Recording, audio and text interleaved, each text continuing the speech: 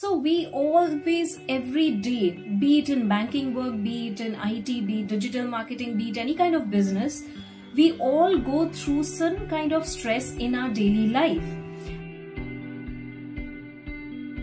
And when I used to go through different kinds of stress, I used to feel that why I am going through so much of stress. Other people are happy. Although I am stressed, my I am putting up smile on my face, but internally so many things are going on. So many battles are going on within the mind. Like i'm just talking to myself. There are two versions of me. I'm just talking to myself. One person is saying something else. Another person is saying something else. So always this battle goes on in between mind. But then slowly i realized that it was the mind which was controlling me. The only solution which uh, i came across and i applied was how i control the mind